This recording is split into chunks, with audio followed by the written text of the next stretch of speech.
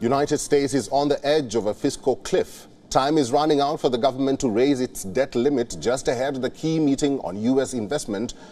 President Joe Biden criticized Republicans for their refusal to vote on a higher federal debt ceiling.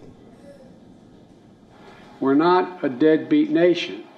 We pay our bills. Biden added that Republicans are still divided on the debt ceiling and are pushing for draconian cuts in the budget. He said they have threatened not to raise the debt limit unless Biden and Democrats agree to steep cuts in the upcoming budget. Our MAGA Republicans in Congress are threatening to do all this progress by letting us, quote, default on the debt unless we agree to their demands. The two are totally unrelated.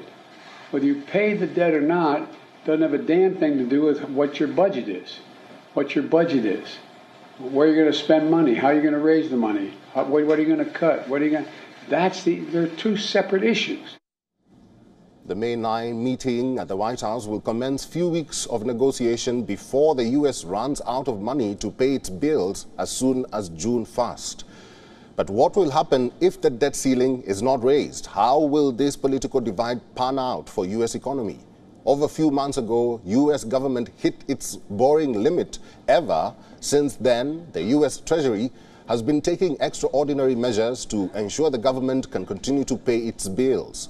On Sunday, Senate Majority Leader Chuck Schumer warned the country that a default would cut off millions of Americans who rely on Social Security.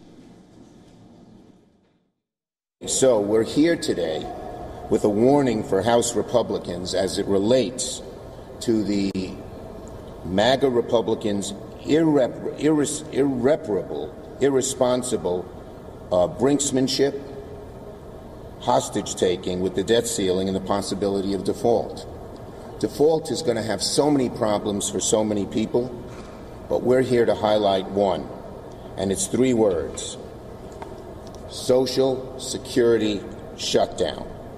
WION is now available in your country. Download the app now and get all the news on the move.